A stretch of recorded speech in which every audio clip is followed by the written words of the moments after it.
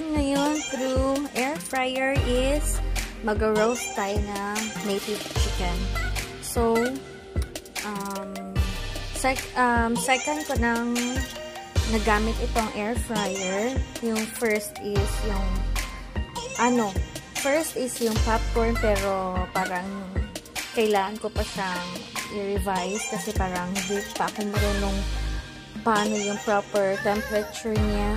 So, ang na, ano ko is yung french fries. So, pakita ko uh, next video paano gumawa ng french fries using air fryer. So, now, I'm going to show you mag-roast ako ng native chicken through ano, kanina nag ano ako na na nag-try ako ng isang drumstick nag-tried ako para ma masampulan ko kung paano paano.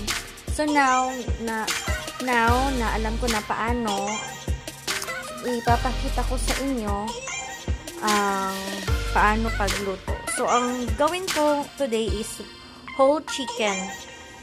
Whole chicken siya. So yan. Ilalagay ko siya then i-set.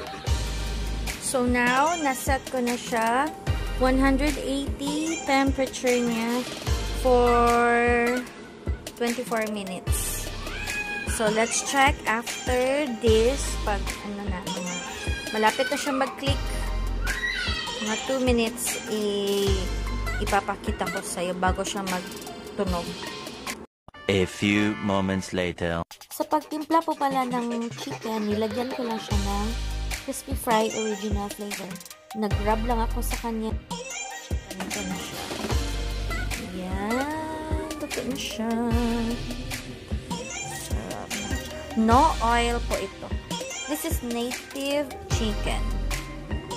So, ang sarap niya. Yummy, yummy. So, I highly recommend this.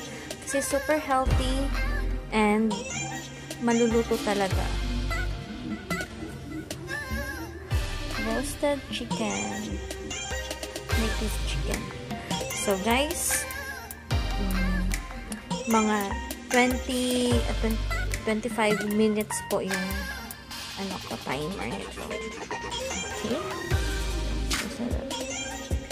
So, ito na po yun, ang fin finished product natin. So, ito transfer ko na ito, then, another one.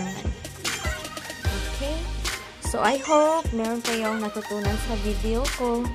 And, please, um, subscribe po sa channel ko, ang BN's Homemade Vlogs.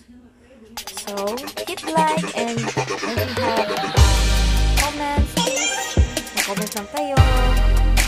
Yeah. Thank you very much. Thank you for watching.